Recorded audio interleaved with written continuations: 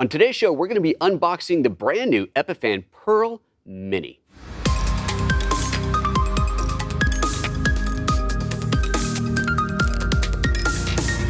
Greetings and salutations. Welcome to PhotoJoseph's Photo Moment, the first live three times a week show here at youtube.com slash PhotoJoseph, talking about photo, video, and live streaming tech. And the live streaming is not an everyday thing, but every once in a while we do because this show is live. It is live. If you're watching live, that means you're watching live and you can participate in the chat, which I cannot throw up on screen right now because we are streaming in 4K and it's a little bit of an odd setup and I just I just can't. But if you are new to this channel, new to the show, make sure you hit that subscribe, hit that thumbs up, hit that, you know, hit the bell, get notified, all that good stuff. So you know when we go live. But we normally go live every Monday, Wednesday, and Friday at 9:30 a.m. Pacific, which is what this is today. Right now, it's Wednesday. So we are talking about the brand new Epiphan Video Pearl Mini.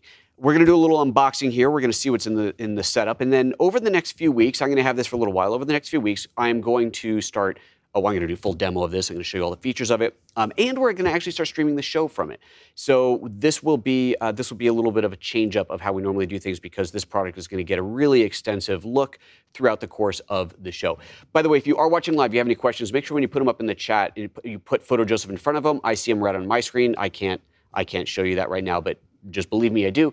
And uh, we will do a Q&A after the show. We'll, we'll wrap this thing up with the Q&A, so if you have any questions you want to ask, we'll hit those then. Um, Anyway, so the, the Epiphan Video Pearl Mini is the little brother to the Pearl 2. The Pearl 2 is actually what I'm using right now to stream. That's why we're able to stream in 4K. So those of you who are watching in 4K, who are able to get, who have the bandwidth and the screen to see it, and are going, whoa, look at the quality of that thing, it's amazing. That's because it is a hardware encoder. When you look at, your live streaming encoders, you have hardware and you have software. Software would be things like, uh, like Wirecast or OBS, which is good, but hardware is better. Dedicated hardware, in my experience, will always give you a better quality stream. The Pearl 2 is a very high-end device. It's an $8,000 piece of hardware. It's capable of streaming in, in 4K, and it has multiple inputs, scalers built into it, frame rate converters built into it, recorders built into it. It is it has like everything that you would need in something that's the size of well, maybe two or three laptops stacked on top of each other. We've talked about that quite a bit in the past. Um, I'll link to a playlist up here so you can, if you want to explore that, check, click on this. You'll see a bunch of different videos that we've talked to uh, uh, talked about it in the past. Um, so that was the high end of what of what Epiphan has is the high end of what Epiphan has. On the lower end, they have a little tiny box called the X2. This is a $300 box. I think that's right. Close enough. $300 box that is a dedicated hardware streamer. It has one input, actually technically has two inputs, but um, it's got a USB input for like a webcam. But uh, one real input, one real HDMI input. It dedicate it's dedicated for streaming to Twitch, Facebook, um, uh, YouTube, you know, whatever, all the all the usual players. And being that it's a smaller, obviously lower cost device, it's a hardware streamer, but it's not as good as what you'd get out of the Pearl. Um, certainly, it's, it's not the same quality, but it's great because you have a little tiny piece of hardware. You plug it in, and you're on the air, and away you go. But again, it's that one input. This sits in between the two. So price-wise, let's take a quick. Let's just start with that. Price-wise, it's at 3,500. So it is less than half of the Pearl 2, clearly significantly more than the X2. But this is a dedicated, as you can see in the description, all-in-one video production system. So what does that mean? What that means is that with this hardware, this should be everything you need to do your switching, your recording, and obviously your streaming. You can put titles, you can put graphics, you can bring in multiple sources, you can bring in multiple sources of different mixed resolutions and stream them out, do all of that. It does it in HD. This is not a 4K device. If you want 4K, that's the Pearl 2. Um, but as for those of you who are watching live we're, and we're around for the pre-show, we are doing 4K now, and doing 4K um, does have its limitations. So Depends on what you need, of course, but the Pearl Mini is going to be what the vast majority of people out there who are doing high end, high quality streaming are going to want to get their hands on. If you want something that handles everything and you want to stream in HD, something tells me this is going to be the box. Now, in full uh, full disclosure, uh, is a client of mine. They have hired me to do projects in the past. I am not being paid to do this. They have shipped this out to me on loan so that I can do an unboxing and do a review. And um, it will likely go back to them, although the Pearl 2, they may ask for the Pearl 2 back. I'm not quite sure. Um, but they are good friends. I, I love the company. I love their products. I am not being paid for this review, but um, I am pretty sure this is going to be a pretty positive review because I've been looking forward to this hardware for a long time. This thing's pretty awesome. Okay, let's uh, let's get started, shall we? So let's see what's in the box. Let's uh, let's do a little overhead view because we can do that. Get my switcher out of the way here, and let's see what's in here. waiting for the, uh, ooh, uh, waiting for that box to fall off the bottom. Come on, here we go, here we go. It's almost there, and it's almost, okay, really, come on, we're getting there. There it goes. Pop, and it's off. So opens straight up to a beautiful little piece of hardware. You can see the size of this. This is, this is nice and small. It is about the size of a laptop. I, I can't, here, let me get my iPad. This is a regular size iPad for size comparison. So, oh, actually, wow, that's surprising. It's the size of the iPad. This is the, this is the Pro whatever this size is. What 11? No, what is this? 11 inch? I think that's right. So it's that size. It is obviously thicker, so you can see there it's a bit thicker than that. Um, but that's not huge. That is a really nicely small device. It's not the kind of thing you're just going to throw on your shoulder bag and go, but if you are going to be traveling and you want to do some live streaming on the road, this is clearly much more portable than the Pearl 2 or any other big solution out there. In fact, with that said, I don't know if I've told you guys this yet. On Friday, I'm not going to have a show Friday because I'm flying to Detroit. For anybody that's in the Detroit area, there is a an event at the zoo. Um, West, I think it's Westwood Camera. I think that's right. Um, is is doing an event at the Detroit Zoo. I will be there Saturday and Sunday, and uh, doing a thing for Panasonic. So if you're in the area, I'm coming to the zoo. It's going to be awesome. But anyway, so I'm going to be in Detroit. I will. I'm planning on taking this with me and trying to do a live show from the hotel or something. Now, those always are limited based off of what kind of bandwidth I get of the hotel. So we'll see if it even works. But I am planning on bringing this with me so I can try. Uh, anyway, so back to the things. You see the size? It's pretty small. This is before we start looking at this. Let's see if there's anything else in the box we want to look at. There is. What else is in here? here let's go back to that top-down view. You've got your power cords. You've. Oh, that's the other part of the power cord. Okay, so you have a power brick. So you do have, it's pretty good sized power supply. So you have to have this power supply. That is not built into the device. You're going to be carrying these two things with you. And then let's see if you get anything else in the box. Doesn't look like it. No, no HDMI cables, nothing else. So pretty straightforward. You have the product and the power supply, and that is all there is to it. Okay, let's get this out of the way.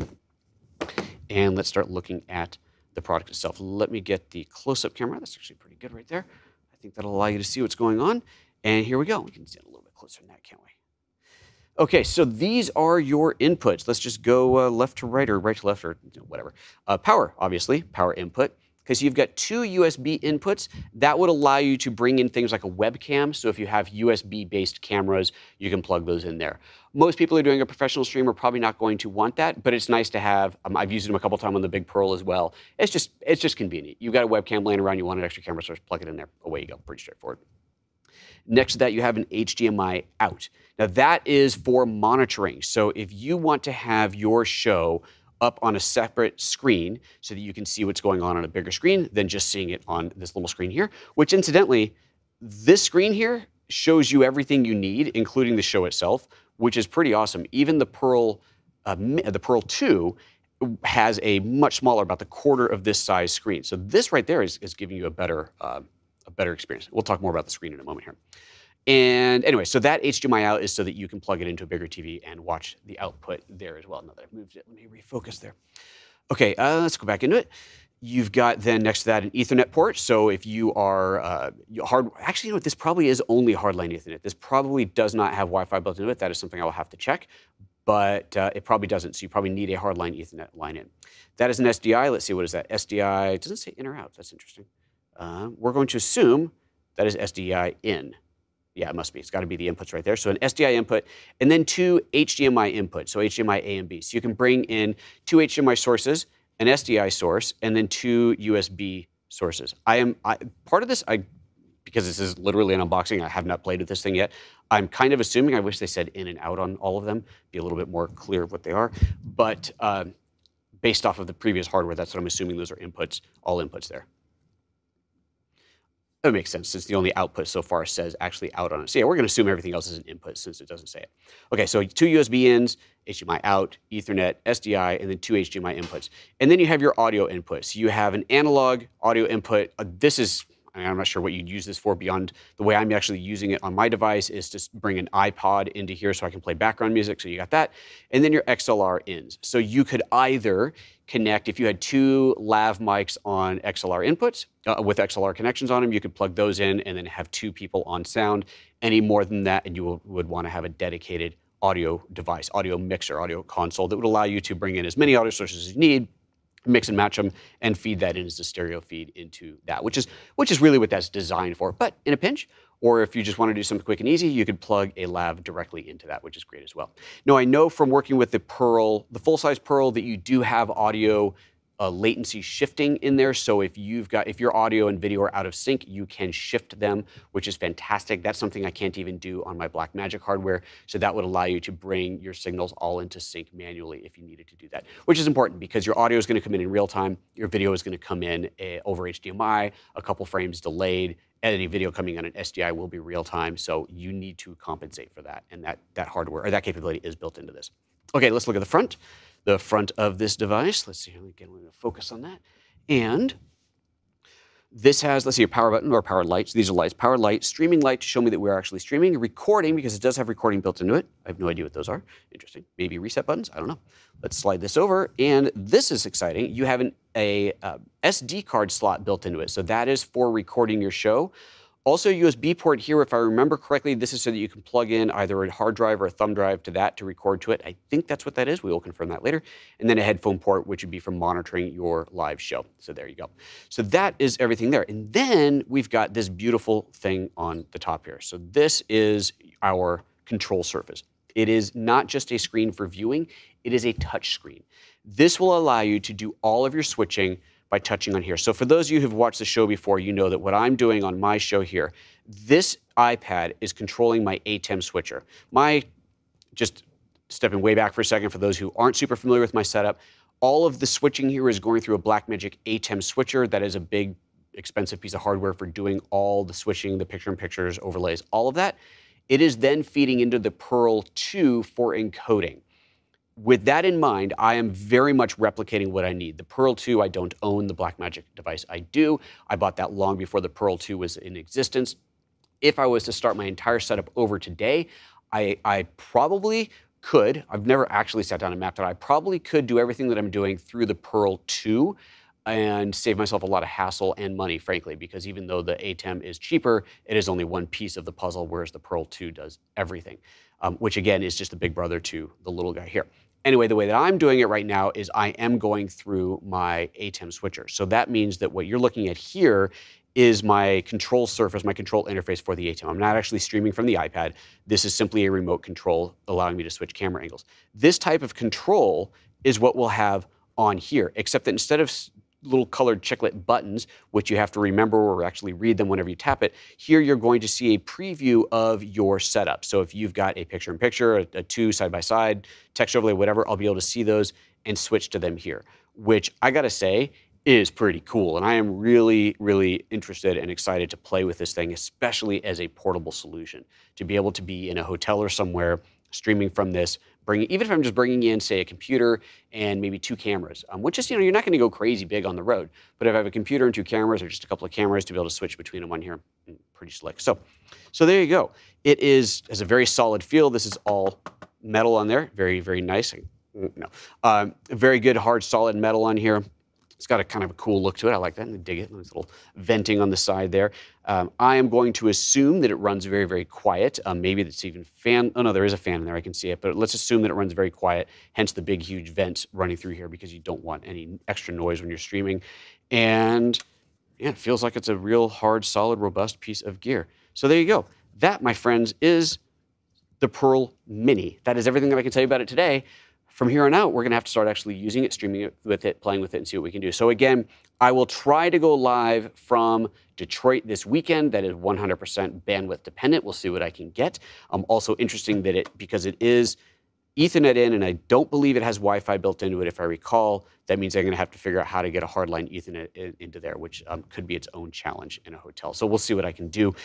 And uh, either way, even if I can't go live from it over the weekend, we will start streaming from this. We're going to still go through my Blackmagic switcher, but then we'll be using this to encode the 1080p stream. So for those of you who have seen my literally hundreds of shows before this that were streamed in 1080p, you'll be able to compare side by side to go back to those old shows, compare how that live stream looked compared to this one, and I am assuming there will be no difference. Uh, I do believe that it is the same hardware encoder in this that is in the Pearl, except that this one's not 4K capable. But it should have the same capability as far as HD streaming as the Pearl 2 has. And then uh, after I've used it for a little bit, put it in production, then I'll do a full-on detailed demo instructional video on exactly how this whole thing works. We'll go through the inputs again, and I'll show you how to set it up in software. Um, it's it's a web-based interface, at least from the uh, what the Pearl 2 was, web-based interface. But because of this big screen on here, I think we're going to be able to do a lot more in here without having to go into a computer to handle it. So that, my friends, is everything I wanted to show you on that. We're going to jump over to the Q&A now. So if you've got any Qs, get them ready, get them into the uh, chat room here, and I'll do my best to answer them. We'll be right back.